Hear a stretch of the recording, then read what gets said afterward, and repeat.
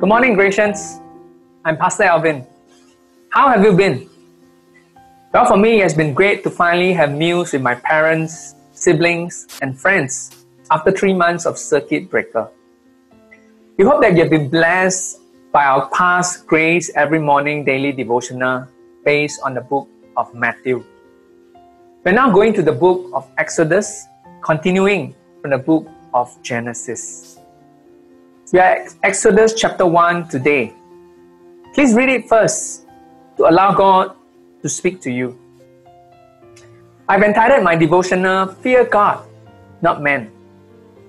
The book of Exodus is a continuation of the book of Genesis and records how God delivered Israel out of Egyptian slavery to become a chosen nation under God.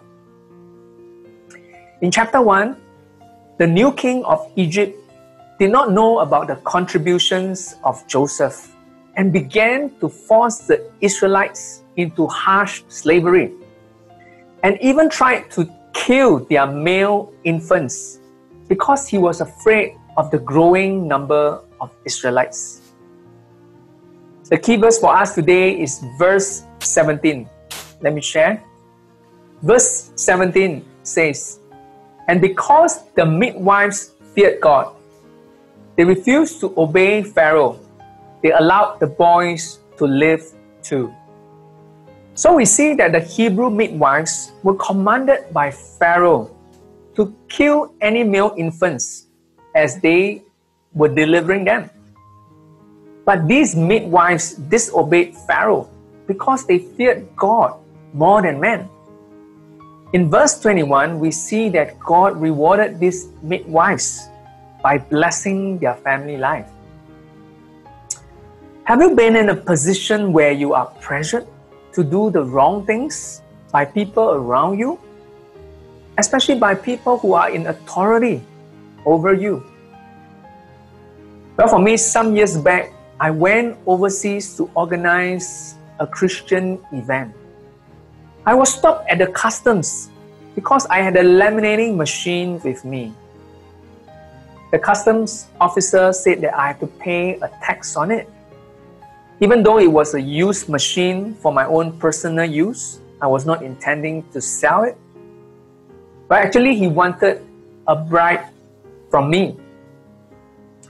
When I insisted that I was not doing anything wrong, he brought me into the customs office where a higher ranking officer took over.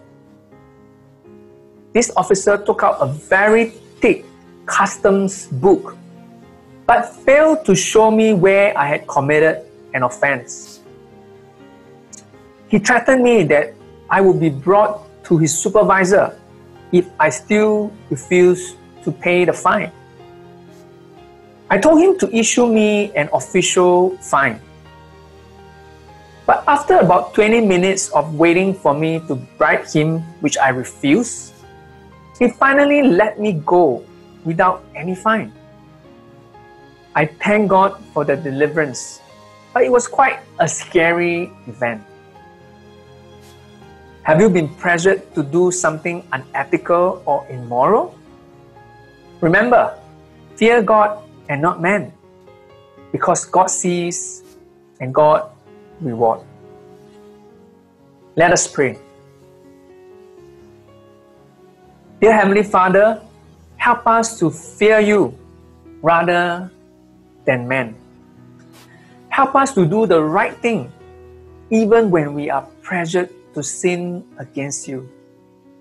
We give thanks that you are God who holds justice in your hands and you reward those who walk uprightly. In Jesus' name we pray.